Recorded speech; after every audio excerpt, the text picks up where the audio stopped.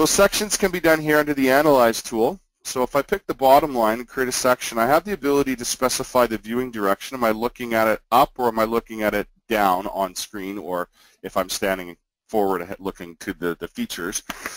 So I'll look at it in this uh, direction and I'll pull my um, cross-section down beneath the drawing. I'm going to make a quick change to my Y grid, grid range and interval. So there's full flexibility in here to be able to take a look at modifying where we're starting our um, graphing and where we're ending it as well as changing the interval. So I'm going to actually start by changing the interval down to a 5 meter major, 2.5 meter, meter minor on the uh, y-axis.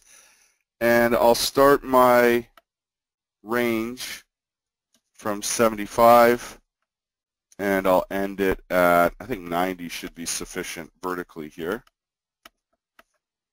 And back under the cross-section elements, I'm going to adjust my vertical scale for this uh, graphing, this cross-section, to 10 to 1. And so what we can see is the first existing ground surface at that cross-section on the, uh, the highest geometry. The next one is my subgrade layer 1, and then the bottom is subgrade layer 2. And we can see here now where the 3D property line hits on the surface here. We can see the depth just outside of the property line of the storm sewer running on the north-south.